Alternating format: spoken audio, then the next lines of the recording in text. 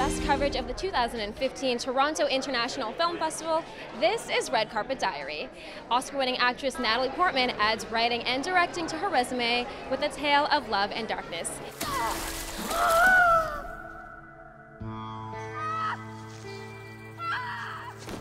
בלי להגיד מילה, קפץ הצעיר שבהם למים. ונשא את האישה על גבו והניח אותה על הארץ.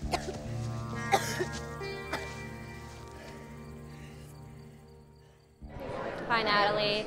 Describe for me the moment, you know, when the light goes off in your head and you've decided this is it. This this is the film for me. This is the one that has to be my debut as a director and I'm going with it with all my passion and all the guts that I have in me.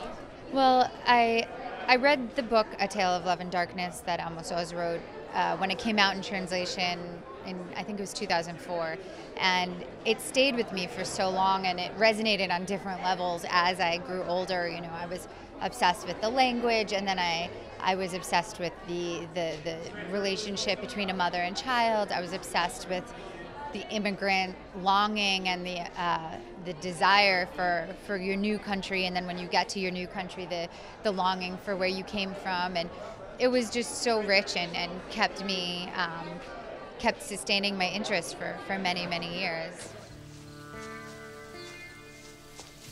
אמור לי.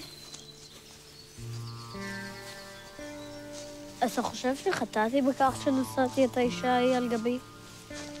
וחברו השיב לו בשאלה. מה? אתה עדיין סוחב אותה על הגב?